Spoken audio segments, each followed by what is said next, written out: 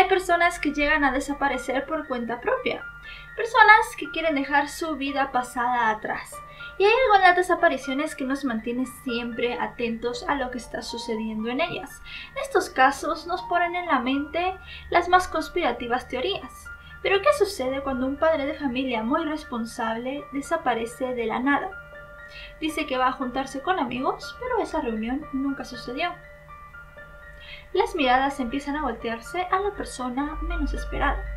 Hoy vamos a hablar del caso de Nivaldo Villegas.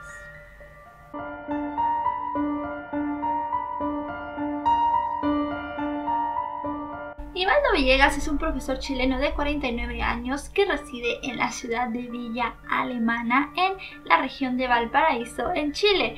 Es en esta ciudad que Nivaldo practica la docencia y es un profesor muy querido por sus compañeros y por sus alumnos. En su vida personal, Nivaldo tiene un hijo adolescente, producto de su primer matrimonio. Pero este matrimonio y este hijo no son los únicos en los saberes de Nivaldo. Es que después de divorciarse de su primera esposa, él conoce a una joven llamada Joana Hernández. Para cuando se conocen, Joana tiene 23 años y Nivaldo 41. Pero esta diferencia de edad no es ningún obstáculo para la pareja y parece que el amor triunfa por sobre todo. Ellos reciben a su primera hija en 2011 y única hija biológica de los dos, y en 2014 deciden casarse, allí mismo en Villa Alemana. Nivaldo es un padre ejemplar y un esposo abnegado. Hace de todo por su mujer y es que ella cuando lo conoció no tenía ningún estudio superior y Nivaldo le financia la carrera de paramédico. Él quería que fuera una mujer independiente y que pudiera sentirse realizada en su vida tanto personal como profesional. Nivaldo quiere tanto a Joana que adopta a los dos hijos que ella tiene de su primer matrimonio. Si ustedes le preguntaban a Nivaldo, él decía que tenía cuatro hijos su hijo adolescente, la pequeña que tenía con Joana y los dos hijos de Joana producto de una relación anterior. Además de hacerse cargo de los dos pequeños y financiarle los estudios a Joana, Nivaldo consigue junto con su hermano Edson poder construir una casa. Esta es la casa que habita la familia. La pareja es descrita como los vecinos como una pareja total y completamente normal. Nunca vieron episodios de violencia ni problemas entre ellos. Salían todos los días a la misma hora, regresaban a la misma hora con los niños y llevaban una vida bastante rutinaria. Una vida que muchas mujeres desearían, pero hay muchas otras que tienen de todo en la vida. Pero ese todo no es suficiente para ellas. Siempre tiende a faltarles algo y Joana busca ese algo fuera del matrimonio. Y es que unos años después termina dejando a Nivaldo por otro paramédico, su nombre Francisco Silva. Nivaldo no está llevando nada bien el divorcio, se siente bastante triste y bastante deprimido, pero su familia lo ayuda a salir de esto. A la familia de Nivaldo nunca le gustó Joana, podría haber sido por la diferencia de edad o por alguna actitud que vieran de ella, pero por algún motivo ellos no la querían, y entre más lejos estuviera Nivaldo de ella, muchísimo mejor. Todo empieza a volverse un poco extraño el día 10 de agosto. Era más o menos las 8 de la noche cuando Nivaldo deja a su hija en la casa de su hermano Edson. Él le pide por favor que se la pueda cuidar durante esa noche porque él quiere asistir a una reunión social con sus amigos del instituto. Obviamente su hermano acepta y Nivaldo se marcha de casa. Nivaldo lamentablemente nunca regresa por su hija. Pasa la noche y a la mañana siguiente Edson y la pareja de este se dirigen a la casa de Nivaldo. El coche está parqueado. Parece que por fuera no hay nada extraño en la casa. Empiezan a tocar y al no recibir respuesta, Edson, al conocer tan bien la casa, logra entrar por un ventanal así que decidieron entrar con sus propios medios. Estaba toda la, la, puerta estaba cerrada, yo no tengo llave de acá. La reja de afuera. Y la reja sí, que con una cadena que siempre la deja ahí, así nomás con un nudito en una cadena. Yo vengo para acá y saco la... Esta casa la construimos con harto sacrificio entre los dos. Eh, yo saco esta este para saber qué es lo que... Este ventanal. Este es un ventanal que uno lo puede desmontar. Lo que encuentra dentro de casa le da más preguntas que respuestas y lo desconcierta más. Parece que todo está en perfecto orden, pero en el perfecto orden en el cual una persona nunca salió de casa. ¿Qué les quiero decir con esto? La chaqueta de Nivaldo, la que llevaba ese día para la reunión, estaba ahí dentro. El bolso de Nivaldo estaba dentro también.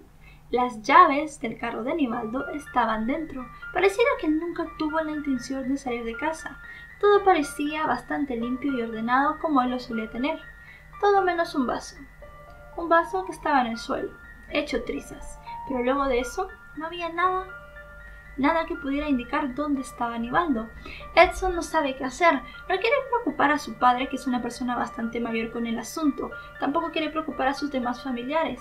Lo que le queda es llamar a la que podría ser casi ex esposa de Nivaldo, Joana. En ese entonces ellos aún no habían firmado el divorcio, así que legalmente seguían siendo marido y mujer. Joana corre a la escena, pero cuando llega, las cosas que hace le parecen un poco sospechosas a Edson. Roto en el piso de la cocina. ¿Por qué está quebrado y nadie lo recogió? La familia de Nivaldo decidió no tocarlo en caso de ser necesario para hacerle peritajes, pero antes de eso, ¿Nivaldo lo botó? ¿Se le cayó? ¿O alguien entró a su casa sin su permiso? Segundo, estaban las llaves colgadas detrás de la puerta. Si le iba a salir por su propia cuenta, ¿por qué dejaría sus llaves? Y es que viene con mochila al hombro y se instala rápidamente en la casa. Joana dice que está dispuesta a buscar a Nivaldo donde sea y que para eso estar en la casa sería mejor para ella. Se preocupaba muchísimo por su esposo según las palabras propias de ella. A Edson le parecía muy extraño porque ella nunca se habría preocupado por Nivaldo. Luego de que se habían separado había sido bastante distante y bastante fría con él. Pero bueno, toda ayuda es buena y se pone manos a la obra a buscar al profesor. Y sí, Joana se pone todas las manos a la obra. Busca a Nivaldo por tierra, cielo y mar. En todas las redes sociales empieza a publicar avisos, pide que compartan en todos los grupos y en todas las páginas que conocen la foto de Nivaldo. Joana pasa a ser la cara de la investigación porque sale en muchos noticieros de Chile pidiendo por favor información sobre su aún esposo en ese momento. Ella sale a las calles todos los días con la foto de Nivaldo en sus manos preguntándole a la gente si lo ha visto. Parece ser que está bastante preocupada y que no va a descansar hasta encontrar a su queridísimo esposo. Los días pasan y no hay información de Nivaldo. La familia tiene menos esperanzas todavía cuando descubren que la reunión que él decía nunca existió. Empiezan a pensar que Nivaldo tal vez quiso desaparecer por su propia cuenta. Tal vez estaba bastante cansado de la vida que tenía y decidió empezar otra sin decirle a nadie. Pero al final de cuentas hay algo dentro nuestro que nos dice cuando un familiar está en problemas o cuando un familiar no tuvo un buen final y su hermano sigue buscándolo. Unos días después aparece en Valparaíso un torso, un torso que no se sabe de quién es, la cabeza nunca aparece. ¿De quién es este torso? ¿Será el torso de Nivaldo? ¿O tendrá algo que ver con la desaparición de este? Se hacen los análisis correspondientes y se comprueba que sí, efectivamente es el torso del profesor. Además del torso se encuentran en las extremidades de este. ¿Dónde está la cabeza? Pero más que dónde está la cabeza, todo el mundo se empieza a preguntar quién pudo haberle hecho esto a este amoroso padre. ¿Quién pudo haberle hecho esto a este profesor que todo el mundo quería? Según la familia de Nivaldo, él no tenía enemigos. Él nunca había peleado con nadie ni le debía dinero a nadie. Entonces, ¿qué pudo haber sido? Las miradas empiezan a moverse hacia una mujer. Y es que bien hemos aprendido aquí que nada es lo que parece y todas las miradas se voltean hacia Joana. La familia empieza a decir que ellos nunca quisieron a Joana, que ella siempre había querido quedarse con la casa y con las posesiones de Nivaldo luego de haber empezado el proceso de divorcio. La policía no tiene pruebas, digamos por así, contundentes, pero hace caso a los rumores y le pide a Joana su teléfono móvil. Su teléfono móvil revela grandes verdades y le da a la policía un susto tremendo y es que se vio que en el teléfono había muchísimos archivos borrados. Gracias a la tecnología de la policía estos logran recuperarlos y lo que ven en el teléfono es desgarrador. Hay dos fotos, dos fotos que habían sido borradas por Joana, dos fotos las cuales son de Nivaldo. Pero no son de Nivaldo vivo ni en ninguna buena situación, son dos fotos de Nivaldo cuando ya está muerto. Además de eso, recuperan cientos de mensajes de WhatsApp entre Joana y adivinen quién, su queridísimo Francisco Silva. Parece ser que la pareja tenía ya casi un mes planeando el asesinato de Nivaldo. Y es que para Joana Nivaldo valía más muerto que vivo. Si estaba muerto ya podría quedarse con la casa, con las cuentas bancarias y obviamente con la tenencia de la niña, que era lo que habían estado peleando. Ella todavía era su esposa y por consiguiente podía heredar todas las cosas que Nivaldo tuviese a su nombre. Además de eso, haciendo una investigación de las cuentas de banco de Nivaldo, se sabe que hubo un retiro en un cajero automático unas horas después de haber desaparecido. Se ve la cámara de este cajero y adivinen a quién se ve. Tratando de disimular o tratando de hacer aparentar que es Nivaldo con su chaqueta y una gorra que pertenecían a él, está Francisco Silva, sacando una fuerte cantidad de dinero del cajero automático con la tarjeta de Nivaldo. Todas las piezas empiezan a encajar, y la pareja es llevada a prisión. Pero más allá de que la pareja sea llevada a prisión, toda la gente quiere saber qué pasó. ¿Qué pasó esa fatídica noche y por qué Nivaldo no había dicho que se iba a juntar con Joana? Y es que lo que se sabe es que Nivaldo había quedado de verse con ella esa noche, para según él arreglar sus problemas amorosos y tal vez darle una última oportunidad a su relación. Él no le había dicho nada a su familia porque sabía la negativa que ellos tenían hacia Joana y sabía que si lo decía podía tener problemas con ellos o que simple y sencillamente no le iban a dejar. Nivaldo llega a casa Empieza a beber con Joana, empiezan a tener una conversación y parece que en cierto punto él se empieza a sentir mal, se empieza a sentir mareado. Y es que para sorpresa, Joana lo ha drogado en una bebida. El hombre cae rendido en la cama desmayado y es allí que ella comienza con su plan. Con la ayuda de Francisco Silva apuñalan a Nivaldo. Lo matan ahí, en su misma cama. Y es en esa misma cama que lo descuartizan. Toman los restos, lo meten en bolsas, limpian toda la escena y salen. Tiran el torso y los brazos en el lugar en que fueron encontrados. Ahora el enigma es dónde está el resto del cuerpo. Y es que este caso es bastante reciente. Todavía tienen ellos que dar sus declaraciones y se tienen que tomar todavía muchísimas más pruebas de la escena del crimen. Lo que sí nos puede quedar claro es que Joana es toda una actriz. Hizo todo un circo para que la gente pensara que estaba preocupada buscando a Aníbal pero durante todos esos días ella sabía ya dónde estaba. Pudo ver la angustia en los ojos del hermano, en los ojos del padre de Nivaldo, en los ojos de la familia. Pudo ver a su hija preguntándole dónde estaba su padre, y ella sabiéndolo no dijo nada.